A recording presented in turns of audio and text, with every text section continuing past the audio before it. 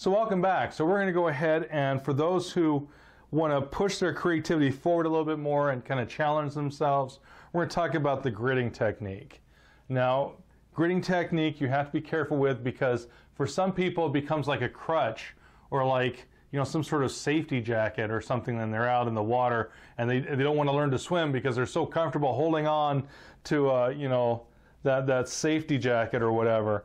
Um, so there is like a cautionary tale about gridding. Now that doesn't mean that gridding is wrong. It's just go in knowing that you don't want it to, to become a place where you can't do anything without gridding. Oh no, I can't. I can't draw. I got to have the grid because the grid will confine you. The grid, the gridding will stifle your creativity if you're not careful. If you understand the dangers, the dangers meaning that you're always always gridding stuff. You, you never draw anything. You just grid it, hoping the grid will save you. And in the end, it, doesn't. It's a help, and it can help you along. But if it if you don't view it as something that can help, but also that has an opposite side where it can become a crutch and can stifle your creativity. So we're going to talk a little bit about gridding. How do we keep it from stifling our creativity? Well, we'll talk about that. So again, I've got this very basic um, photograph of this drawing we're going to do of this high mountain lake. It's a little blown out so you can hopefully see the grid. So I've gridded this with orange Prismacolor, hopefully so you can see it. Now whenever you're gridding, we're going to do a, an easy grid. We're going to do this. This is going to be the same size as this.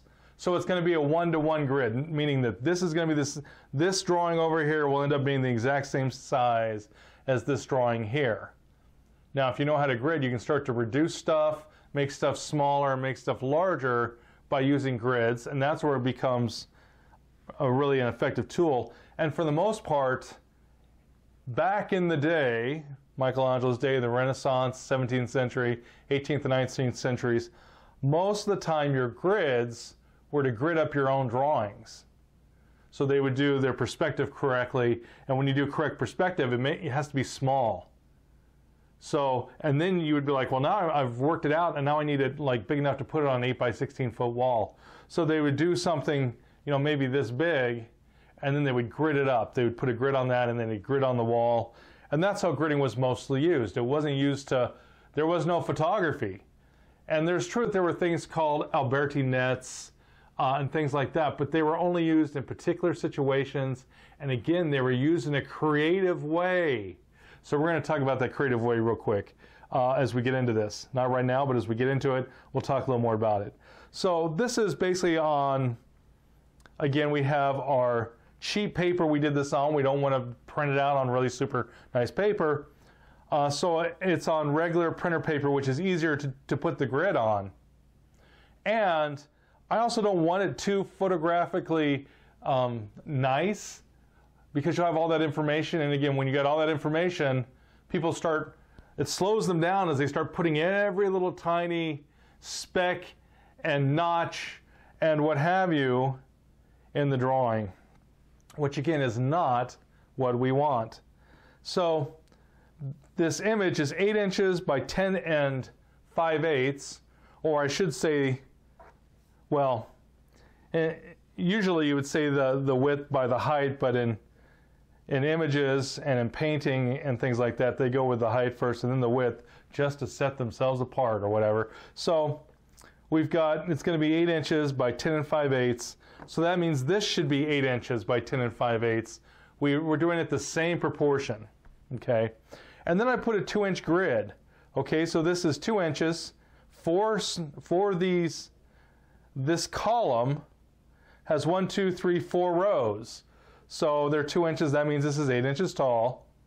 And this is 10 and 5 eighths. So we have going across this row, we have, we have one, two, three, four, five columns. And this is our sixth column because this is 10 inches here. Right there's our 10 inches. And then we need our 5 eighths little piece on the end. What you want to do whenever you grid is you want to start from the same place. So I first set this piece here and I started with this corner where I drew a line up and I drew a line all the way over.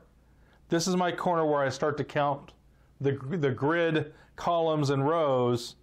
So I, I measured up two inches until I got to eight, which gave me four rows. And then I measured, and these are these you know these are these are our columns, right? But this tells us how many columns there are. This tells us how many rows there are, right? Those are our rows.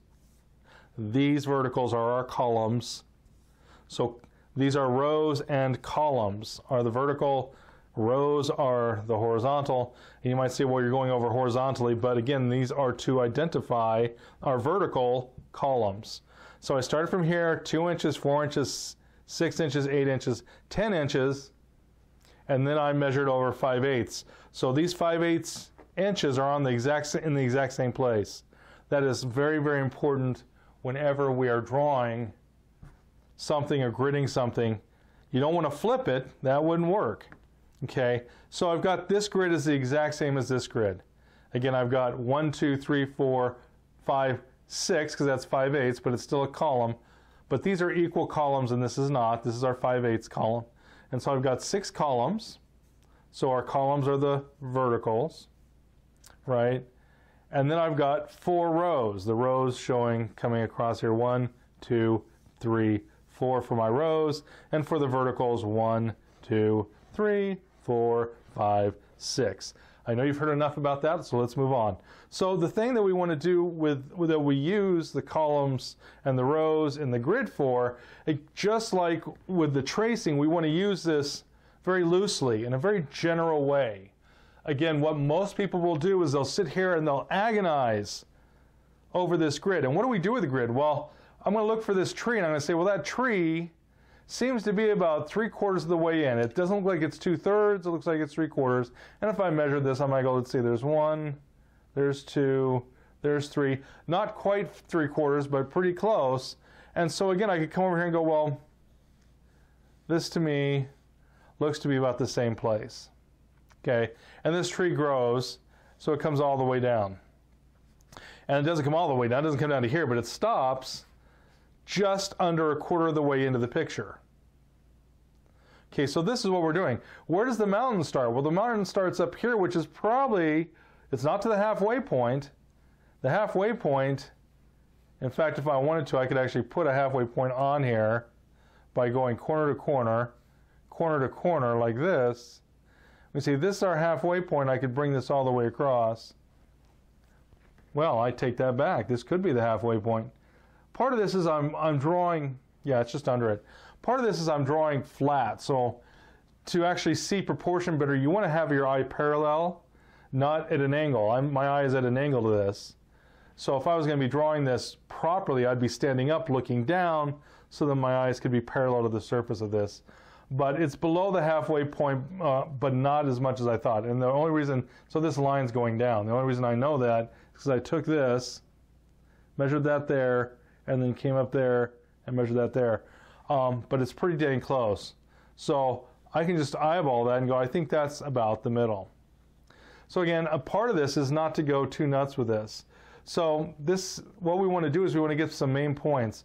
Where does this come in? This comes in right about there. Where does the lake come in? Well, the lake is down toward the three quarter mark there. Where does this? Well, this is about the quarter. Well, that's actually more probably of a third because I just looked at where this tree is here. The tree comes down, probably need this. This tree comes down this far, whereas from here to the lake, that comes up that far, and this is almost twice that. So that means we're probably because this is under this is under three quarters. This is less than a quarter. So this is probably closer to one third. So I'm going to start looking for these landmarks. Where does the grass start? Well, the grass actually comes up and it comes above. So it drops up, down, and over. So we're then going to say, okay, where does this come? Well, this starts up here and it comes down, you know, through about through there. And so what we're looking for, so this comes down to here. And then this drops down where it's almost at the bottom. So that we come from here almost down to there. So again, we're just trying to look for the basic relationships. Where's this tree? If I drew a, a, line right through the middle of it, where would it be? And it's it's even closer to here than than. Oh, they're almost the same. It's it, it is a little. No, it's not. It's a little further, isn't it? Ha ha ha. Okay, so now again, it's it's close, but again, and I could eyeball it, but I could also just go, you know what? I'm going to freehand it. That's this right here is a little further out. Started out a little further out, and then my line's going in a little bit, but that's all right. So this is a little bit close, you know, further out than this. So this to here is a little closer than this to there. Okay, so that's important. So again, and then I would say, well, where's this little line coming up? And this little line is below the half, probably at the you know near the one third. Then I've got a this is a tree down here. That tree's about this tall, and it's near the uh, near the edge. There's another tree that comes up into here. The middle of that tree is right about here, but it's not. This is too tall. That tree is just above this ridge line, just a bit. So there's my ridge line. So this is now this is above that. And so again, I can use this. This tree, if I split it, is almost sitting right on this division. Okay, now in my drawing, I dropped those out too. That's the other thing. I'll have to put them in. But I'm going to start trying to decide where these trees go. So that's how we use this. You know, most times people get way too uh, crazy with these grids. This comes in just a little bit here, and the grid becomes a stumbling block. This comes down here. There's a tree behind them here, and there's another little tree going off there. So again, and then we say, well, where's this lake? And we say, well, the lake for the most part, is pretty straight. There's some undulation, but for the most part, it stays pretty straight until it hits here and we can't see anymore because what I didn't put in here is there's a couple small little pine trees right through here. So there's a pine tree here, there's a pine tree there, okay? And then we go, well, how tall is this? Well, this is above, just a bit above that halfway mark. It's in it's one, two, three, four in, one, two, three, four in. You know, so you're just getting used to, to using the grid. Where's this guy? This guy's even taller. So he's going to be somewhere up here. And where's this peak at? Well, this peak again is probably at about the one third point. Where's this peak at? Well, it's almost in the middle. Okay. And so again, I'm just trying to get these, these main points on my there's there's this far little foothill leading up to that, and it starts. You know, this is covering it. There's a branch here that you probably can't see because it's probably getting blown out, but there's a branch coming across here, and this is running right along the edge of this. This this goes here, and then it goes up and through there.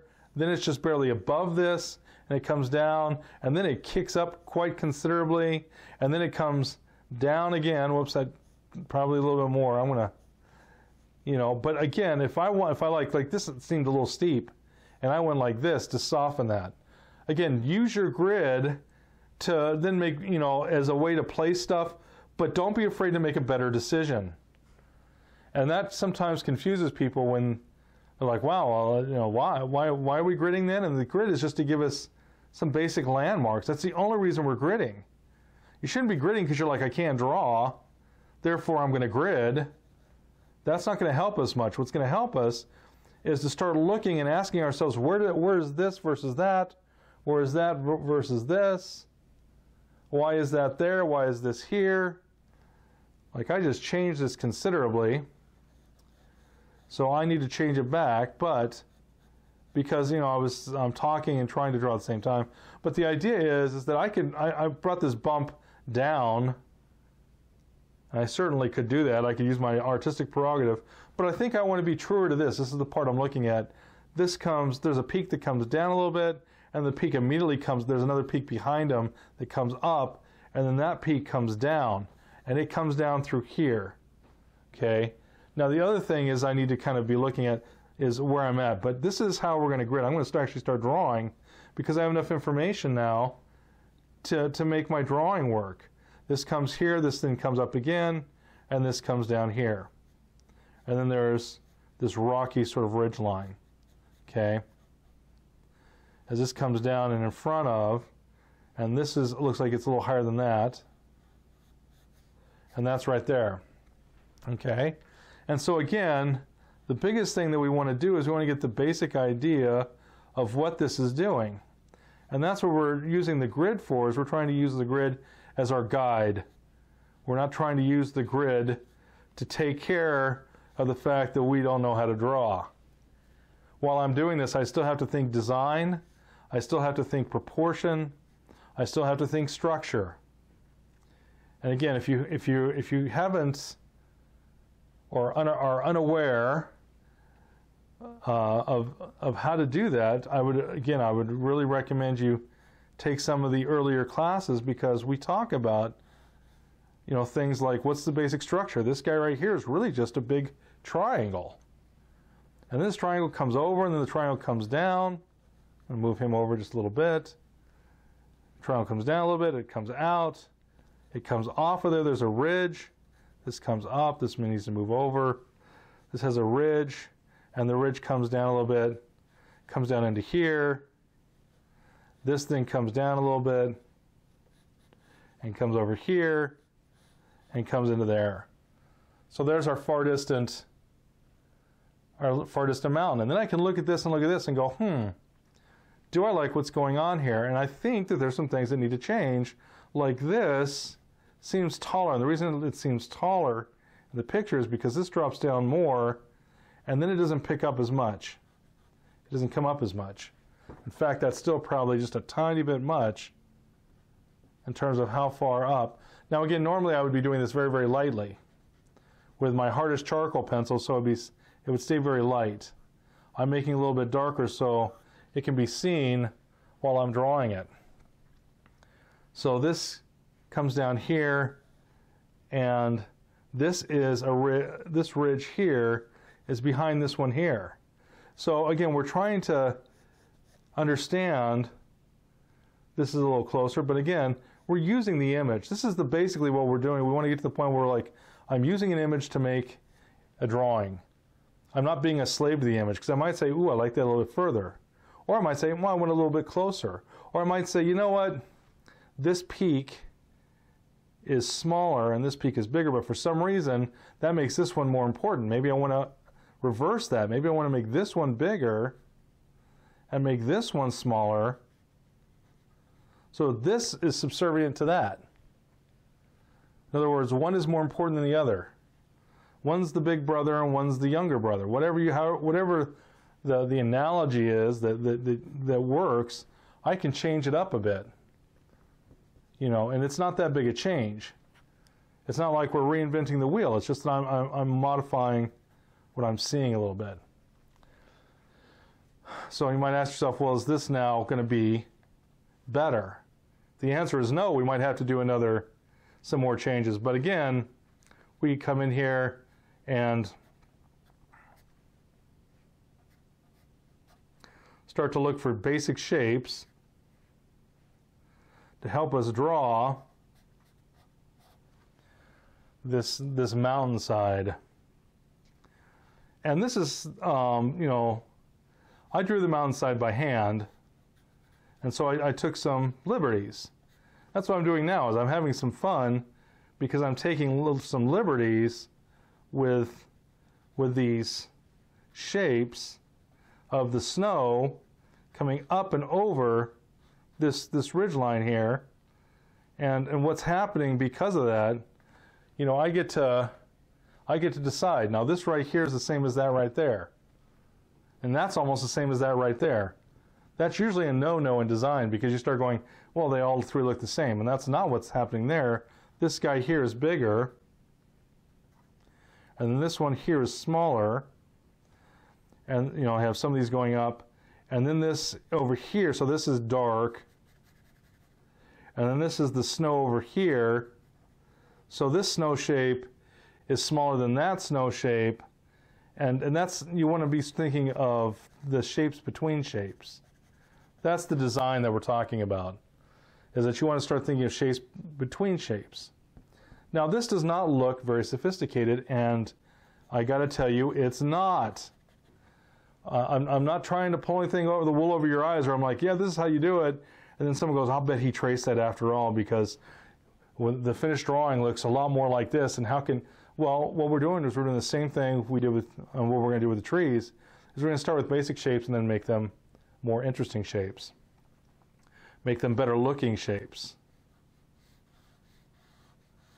And that's that's what's the real fun part with this is that as we come across here, like this guy, he got a little he got skinnied up. I need to bring him back over.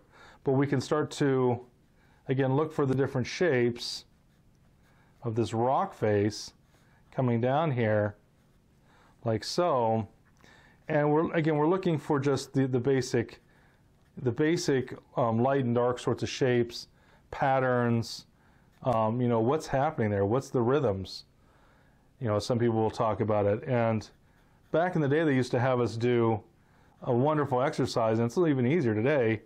Uh, you could take a picture in Photoshop and and use a posterizing filter and it breaks it up into the base it breaks, breaks it up into basic light and dark shapes. And that's what I'm doing here. And then to, to get you to see that they would have you do different assignments when you were in college and high school so that you could start to see the most important basic shapes and then you could develop those shapes because again these are, are not they're not perfect but they're not far off either it wouldn't take much to modify these and have them look like these shapes over there. And the first time that people see this, it, it seems like, um, at least when I first saw it, uh, I'm, I'm, I'm very much a skeptical person. And I was very much like, oh, that's a, just a bunch of gobbledygook. What are you going to do with that? That's just a mess. You're just, you're putting me on, right? And the answer is no. You know, it, it actually, it actually does work. It just has to you have to learn how to how to do it, how to see it, how to make it. And once you do, then you understand that it, it, it actually is a powerful tool. And anyways, I, have played on here more than I probably should in these in these back uh, back mountains, but I wanted to just kind of have some fun, and not just have some fun, but talk to you about the different shapes we're making. Now, sometimes we get lost. This right here, I got lost. This is actually supposed to be the gray rock right there. This right here was supposed to be the snow. And then this right here is another gray rock. So again, the reason that I will put tone in here is so I don't get lost. Like right there, I got that's a great example of hey, I got lost in the in all the details. And I could feel it. I was looking over there going, what what is that? And if I can't answer that question, boy, is that drawing in trouble. So again, we can just very quickly, you know, get that laid in. Now again, sometimes people are like, well, what about these trees? And again, the trees, same sort of thing. When, I, when you're doing this, I keep it, I keep it very loose. I chunk out the, the, the basic shapes. So these are these basic shapes. Um, we of course have you know, the, the trunk is coming through here. The trunk is coming down into here. You know, we're trying to still be aware of what all is happening with all our different stuff and the different trees and and all this good stuff and we don't want to get lost okay so again we want to go ahead and simplify this and we want to keep it uh, you know so that we don't get lost again, while, while we're doing all these different little things. And again, I'm going to go ahead and just put a tone tone down here. I'm going to try and make it a little darker than the, than the mountaintop. But again, I try to chunk all this together so that I, I can I can always take little pieces out of the middle and I can, I can also push it out so that I can you know start to make the shapes more interesting and more faithful to what I'm actually seeing. But this is just a placeholder. That's all this is. This isn't anything special. This, there's, there's nothing that I couldn't change. And I've taken quite a few liberties with it. Because again, I'm not trying to do an exact replica of that tree. Not, this isn't supposed to be some portrait of the tree. This is supposed to be the idea of what the tree is, how much space does it take up, what's the basic idea of its branching systems, and what do they kind of look like? And that's, now the tree actually has a little bit more curvature. I would actually do this fairly light. I'm doing it much darker now than I, than I normally would, but this actually has some really fun curvature to it as it comes in and out and bends and it's because of where this is there's a lot of wind that goes through there and as these grow the, they respond to the elements. And so there's a lot of fun stuff happening on this tree as he's growing on this hillside. We then have these back trees that again we have this we have this small um, little pine tree here and another small little pine tree. And this pine tree is enveloped and merges with this bigger pine tree over here, and this pine tree has another pine tree behind it. And so this all over here is all these clumps of pine trees. They give us those wonderful triangular sorts of, you know, they're, they're triangular. There's, there's no two ways about it. And I just very quickly, you know, I, I know where they are because I, I know where this is and that is, and I just kind of put these in between. So again, that's that's what's back there. Now again, I'm I'm just coloring it in so I don't get lost.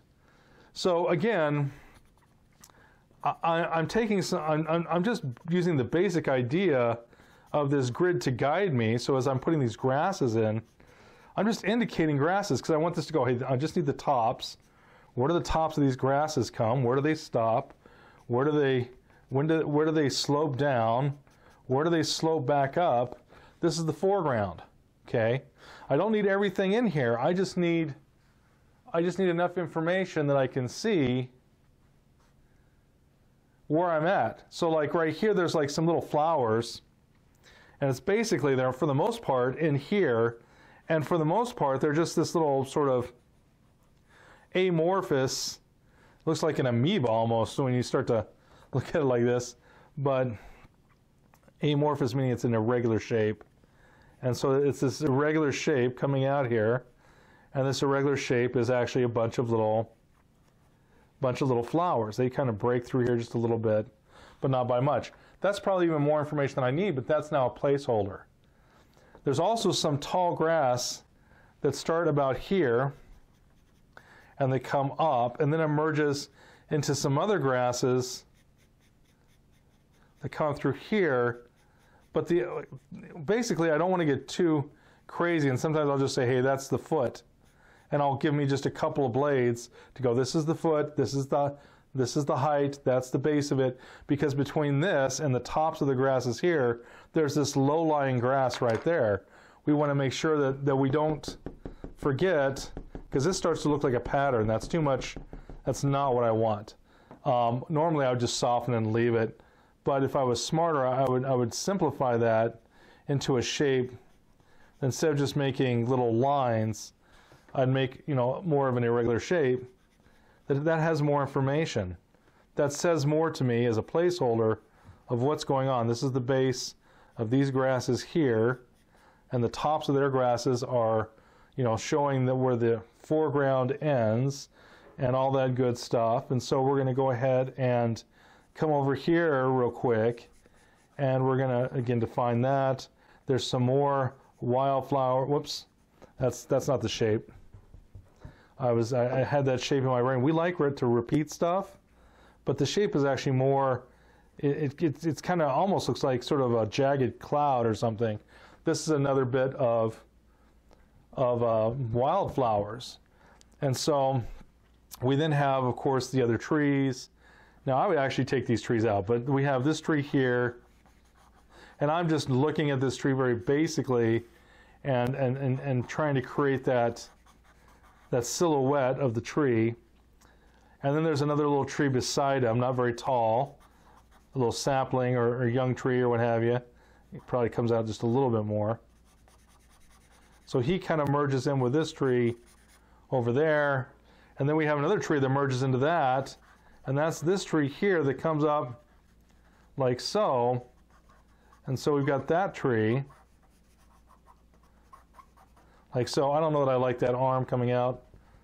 Even if it does do that, I, I don't like that too much. So again, I get to decide what this looks like in the end. This kind of comes up a little bit more. That breaks through there a little bit more. And again, these are foreground trees. Okay? So again, this is if we're gridding, we want to keep simple shapes. Again, this is a tree that I just very quickly said, hey, here's the basic shape of this. And I am looking at the picture a little bit to guide me, but I'm also taking some liberties. I mean, that's that's what's fun about drawing. We don't have to do exactly what's there. We can do what we want to be there or what we feel like should be there. I'm kind of playing with that arm because that arm's a little I think we'll do the arm like that. But, and again, this is the tops of those grasses right through there. So we start to get the contour of the foreground. We've got now these hills. Again, normally I wouldn't do it this dark, but to make so I can see this tree a little bit better, I'm going to lighten the values in the in the back mountains. Now they're going to be light anyways because of something called atmospheric perspective. But for clarity's sake, I can lighten it so I can see the darker edges much more easily. Okay, that's not a bad thing to do at all. Now, I'm not going to take the time to do the rest of this, but we could you know, very easily get this. But this is the backward, the, the far lake shore. That far lake shore, there's a smaller tree line, and the smaller tree line is about yay big. Okay. Behind that far tree line, there is a foothill and coming up like this. Okay. So again, we can put everything in here. In terms of the lake, there is just a little bit, there's some logs here on this distant shore as far as that goes. And so there's some logs, but that's a little detail that doesn't matter as much. But there's something else. And in the, in the picture, you'll be able to see this, but there's a very light sort of little highlight that runs across the water. Highlight's probably the, there's reflected light, I should probably say, because it's actually not in the light, it's actually in shadow, which would mean it can't be highlight. So it's, re, it's reflective light. But it, it shows that there's water. That reflected light shows that there's water on the sur- or that, that's, that the surface is reflective, and the only surface you're going to find that reflective in nature is going to be water. So, again, and again, this could be those distant trees. Now this is an extra soft pencil. This normally wouldn't be my sketching pencil. So this is a little bit darker than what I would want. But that's all right. I can pounce my eraser and use that. But I can start to, again, get the, some of the information. Then we start to do shadow side. This is a shadow side. Uh, this is, goes into light then is then there's a little bit of light peeking here, and then this goes into shadow again. So this comes up the hill, a little bit of light, and then all this is in shadow. So as we start to deal with this, we can start to map the shadows. Again, if that sounds like you don't know what I'm talking about, we talk about shadow mapping in the value class, and it's very important because that's what's going to give this thing the feeling of light, form, and depth. Okay, I'm going to just lighten this very quickly wouldn't normally do this. Well, I might do this a little bit, but I'm going to have to actually clarify it after. I'm just trying to lighten it with my finger and soften some edges. And I'd be careful about blowing out the whites because that's going to be my snow. But you know, this is how we would, this is how we'd use the grid in a intuitive way. This this little, I'm going to lighten that too. That those little stripes are create. Um, they create a rhythm, and the rhythm that it creates is not all that interesting. By meaning that you want usually, you you want some solid areas, you want some spaced areas, you want places where it's, and this is all the same, and so it looks like you know some scraggly bits of hair on on some you know cartoon character's head. So that's why normally I'd be like, no, that's not what I want. What I'd rather have that makes more more sense to me is this is the base of those grasses. This is the tops of those grasses and this is still implying that there's that they're irregular. This is also a rhythm, but it's not like they're all the same mark. That's where it becomes uh, pretty terrible. So again, you can use this this gridding method to grid your trees as you're you know you're drawing them and and trying to get them placed in the right area, which is what we want really. And again, when you're when you're using this when using a grid this way and you're, you're, you're looking at it as you're drawing, and you're not trying to meticulously map everything, what happens is that you have more freedom. the, the more you get used to this, the more you can start to go, there's like this asymmetry to this tree. I'm not as excited about this right here. Seems a little bit too much, is so much further than this. It seems to be overweighted. So I've pulled it back and I've pushed this out in a couple places. Now maybe it's a little too irregular because this seems like there should be a space between these two. And so I can put a space in there and that, that you know, can help break things up and just be more exciting in terms of the design. But I can, I can start to, again, redesign this, make it look a little better. Because if you start to have trees where it's all, all the stuff's on one side and very little on the other, it starts to look like the tree is diseased or, you know, it just doesn't look right. And we don't want that. We want some nice trees that have some nice information that give us. So again, we've got just very quickly and I'm trying to be very aware of the shape as we do this. This is the